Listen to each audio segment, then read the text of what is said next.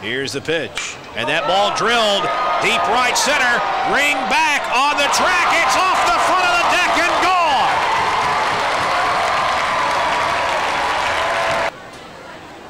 Miles delivers, and there's a line drive inside the line and right. And It'll roll all the way down into the corner.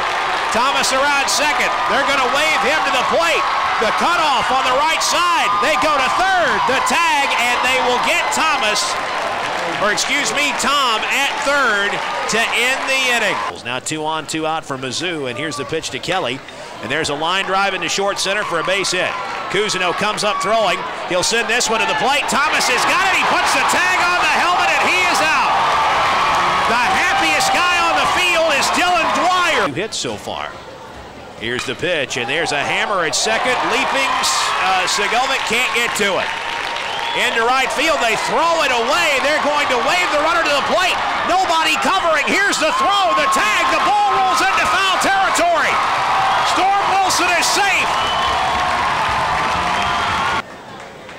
A break even, and that ball ripped down the line and left, but a, a fair ball just inside the line, and it rolls into the bullpen.